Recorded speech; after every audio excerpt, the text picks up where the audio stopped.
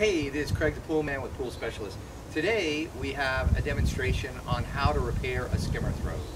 And why is this important? This is important because this is probably the most common leak that you're going to find in a gunite or a shotcrete pool. The reason is, is the pool is concrete and the skimmer is plastic. And so they have different coefficients of expansion and contraction. And in particular, the concrete can really contract in the wintertime and really expand in the summertime. And so a lot of times we get these calls in the middle of the winter that, oh, well, my pool is leaking right down to the skimmer. We go out and test it, and sure enough, the skimmer throat is leaking. And unfortunately, in the wintertime, we can't do this repair because of limitations of temperature and dryness. So we put it out to the summertime when it's nice and warm and the stuff will cure correctly. But then they come back and they say, well, my, my leak has gone away. Well, it hasn't gone away, it's just diminished because the concrete has expanded in on the skimmer throat and there's less of a crack. So what we're going to do is we're going to take a Dremel, Dremel tool and we are going to use a tile bit and we're going to create a groove around the inside of the skimmer throat between the plastic and the concrete. And normally, most pool companies fill this with hydraulic cement. And hydraulic cement works great on round openings. It does not work so great on rectangular or square openings, mainly because of the contraction and expansion of the concrete, that it, it cracks because it's a very rigid type of material.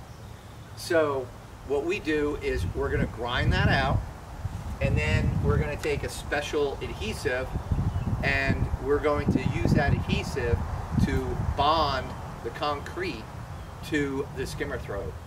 And the only thing that I have found that works is the 3M. It's called 5200. And we'll show you what this is so that you can find it. I usually get it at West Marine just because they usually have it on hand it's very easy to get to and very available. And this is the fast cure. The fast cure is absolutely imperative that you use the fast cure. The fast cure claims that it cures in 24 hours, whereas the regular 5200 cures per millimeter, and by the time you're done, you've waited about a week for the regular 5200 to cure. So it's not like you're going to be working with this and it's going to set up like hydraulic cement. This has got a lot of work time in it. And so always, always use fast cure. I like to use little tubes and mainly because it gives me a lot more flexibility inside the skimmer throat. It does come in regular caulk tubes, but the caulk tubes are very difficult to manipulate in that skimmer throat and then you have a lot of extra and the extra just goes to waste because there is no way to seal this up. If you are using this tube, you can actually put the cap back on it and then put it in the freezer. And you can save it for a couple months if it's in the freezer. Of course, you'll have to take it out and thaw it out. But that's the 5200 and we have a Dremel tool. And of course, after we Dremel around the skimmer throat, we're going to need our shop vac to go ahead and clean the whole thing up before we actually go ahead and put the adhesive in there. You're definitely going to want to wear rubber gloves when you do this because that 5200 does not come off and I do not know what what type of solvent you could use to get it off your fingers. So wear good, good nitrile gloves. I like to use like the 7 mil type just so that I don't have to worry about it. They're cheap and they're disposable. This is the skimmer throat and you can see that somebody put pool putty in here in an attempt to fix this, probably in the winter time.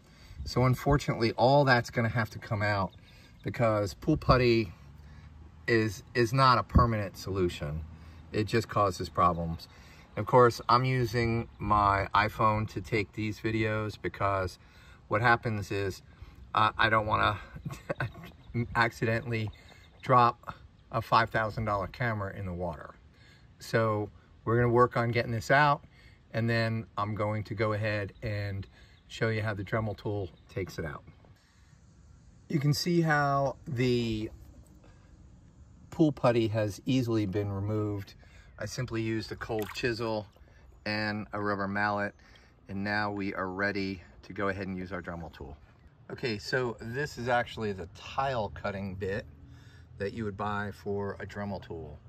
And that's what you'd use to cut your groove.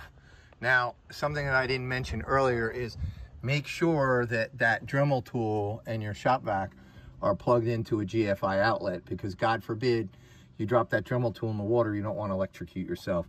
So now you can see that I cut a nice little groove, not only into the plastic, but also into the tile.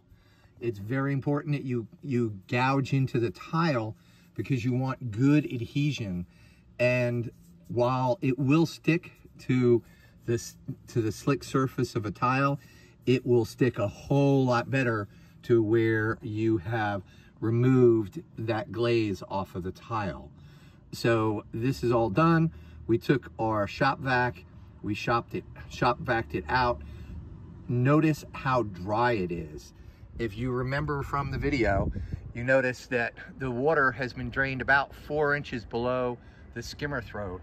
And you wanna do that for at least 24 hours before you start performing this process. We've cut a rather large opening. This stuff is actually pretty thick and we're going to now take that and put it around the inside. Here is the finished product. You'll notice that I applied it and I try to apply it pushing it into the groove and then I go ahead and I take my finger and I smooth it out onto the tile and then also into the skimmer throat.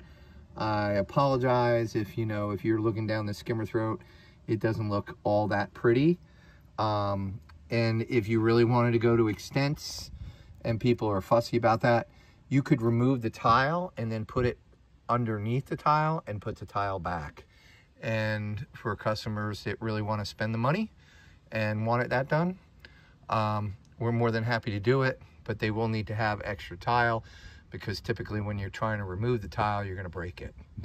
So you can see that it forms a an excellent, excellent um, seal around it.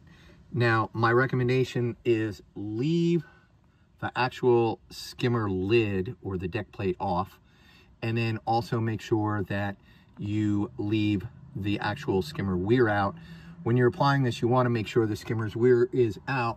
And you also want to make sure that you don't cover the holes for the skimmer weir on both sides.